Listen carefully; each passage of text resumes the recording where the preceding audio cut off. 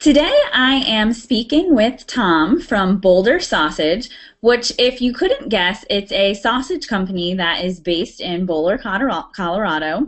They make some great tasting breakfast sausage, Italian sausage, bratwurst, German sausage, chorizo, you name it. In the sausage game, they make some of the best tasting sausage out there.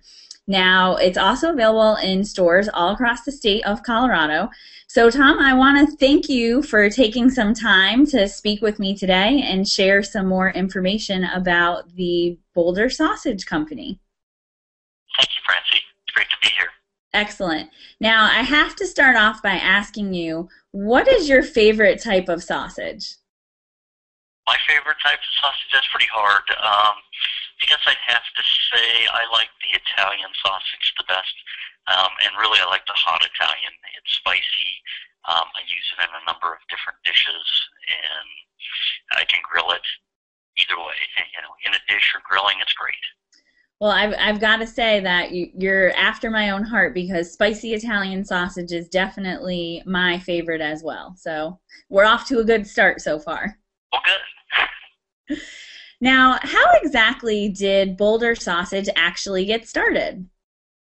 Boulder Sausage started as a chain of restaurants. Uh, there's a gentleman by the name of Don Oak that came from, uh, he's actually a descendant from Germany, and then he moved to Wisconsin, and then he moved later to Boulder, and he started a chain of restaurants called Don's Cheese and Sausage.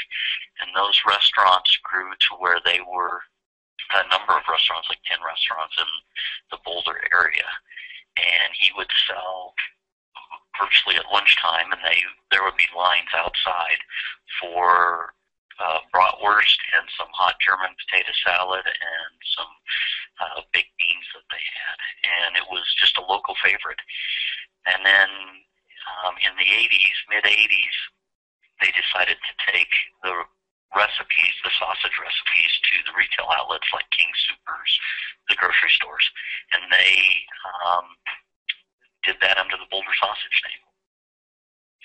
And then we took over this business and we've let the restaurant since go and uh, focus mainly on the retail side of the business where we sell in the grocery stores. Excellent. So you basically took a a successful restaurant based sausage business and really were able to turn it into a big successful retail business and, and probably get more sausages to, to more people. Yes, we have. And there's so many people that just recognize us from the old Don's cheese and sausage times.